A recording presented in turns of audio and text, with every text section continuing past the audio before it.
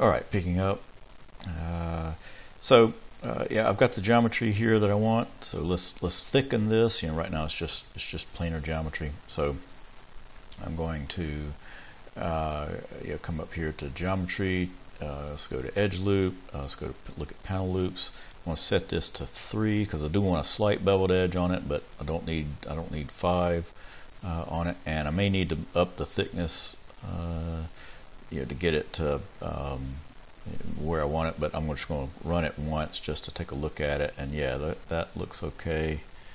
Uh, I don't think yeah it did too many loops, so somehow it, did, it got back to five. Let's type in three and then hit enter just to make sure that it's got that and then let's take the thickness up to say or see it's at uh, 0.01 now let's quadruple that so let's go to 0.04 and now let's run it. Oh yeah and that looks a lot better. In fact that might be a little bit too thick. Let's see what happens with 03 um, yeah I think I like that a little bit better. Or you can do 0.035 if you don't like that. Yeah, there we go. Yeah, awesome. All right. Um, yeah, so now if I want to do any low poly modeling on this, if I need to make some tabs or things like that to put, um, uh, say, straps through, you can do that now. Um, but yeah, I'd, I'd, save that for a different tutorial. Right now we're just interested in getting some geometry uh, uh, out on this guy, getting that hex tile uh, on it. All right, so to do that, what I want to do, let's see, let's go ahead and name this guy too. Um, uh, let's see, let's rename that to pad. And that way I can just come back to this guy. Let's switch back up to our uh, hex tile brush here, hit F to get it framed, and I want to get face onto it uh, like this and make sure I'm completely orthogonal to it hold down make sure no perspective hold down shift. So I'm looking at it like this. And then I want to make this uh, into a brush. Uh, so to do that and let's get out of uh, polyframe mode. So I'm just going to come over here to brush and I want to create click on create insert mesh. Um, and I don't want to append it to the existing one. I, I want to make this a new brush. So now I've got a new uh, insert mesh brush of this thing.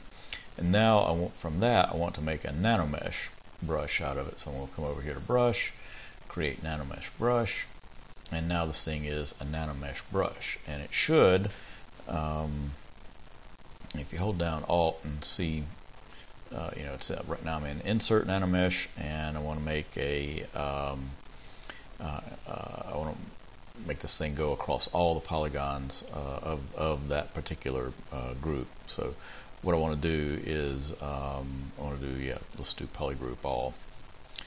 Uh, and that way when I click and drag, you see it'll pop out uh, on all those faces.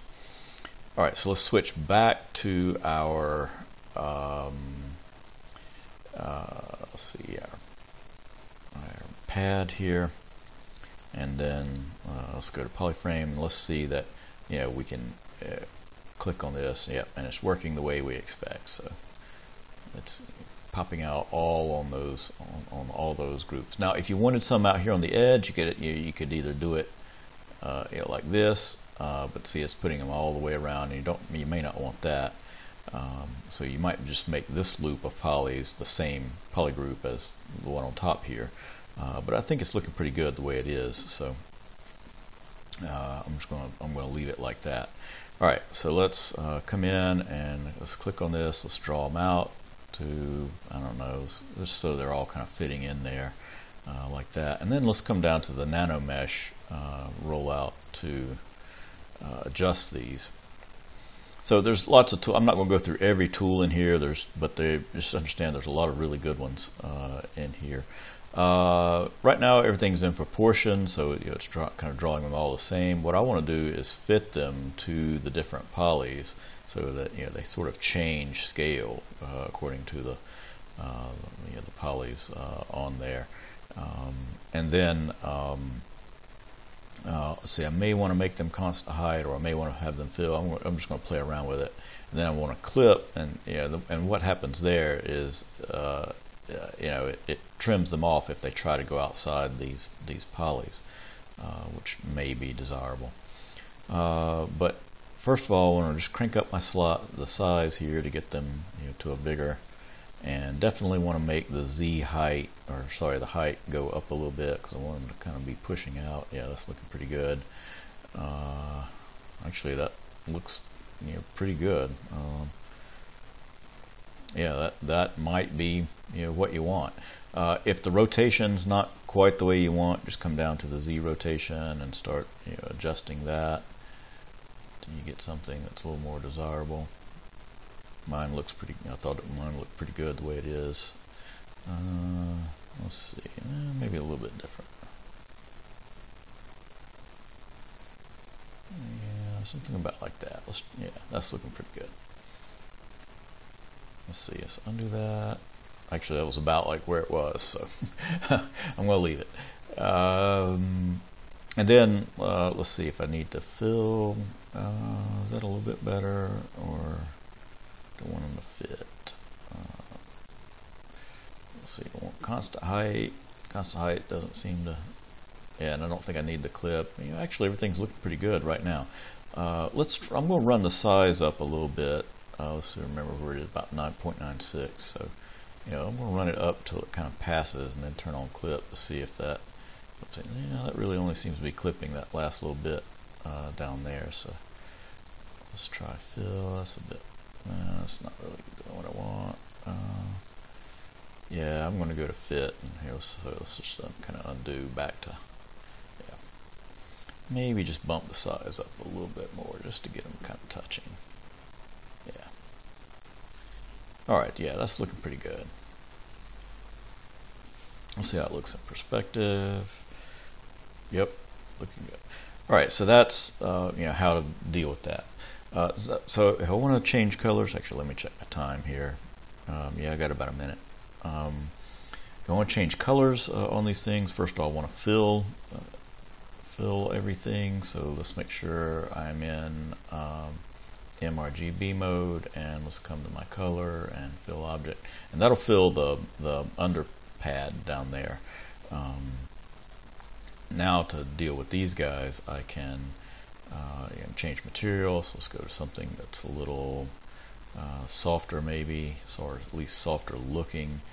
Uh, let's see what chalk does to them. Ooh, that's kind of nice. Yeah, that's kind of soft. And let's give them a little bit different color. Uh, darker gray, maybe. Um, yeah, let's go into the blue side in there. And so once I've done that, then I can come down here to um, uh, under my nano mesh uh, and color and the colorized part of it.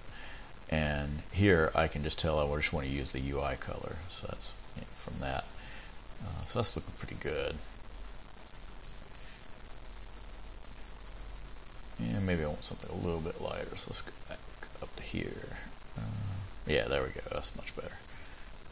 Let's, you know, I think let's reverse these things. So uh, I'm going to leave that uh, the way it is. Let's switch back to the basic material though, and uh, I want to color fill the pad. So I'm just going to fill the object. Yeah, uh, and then. Um,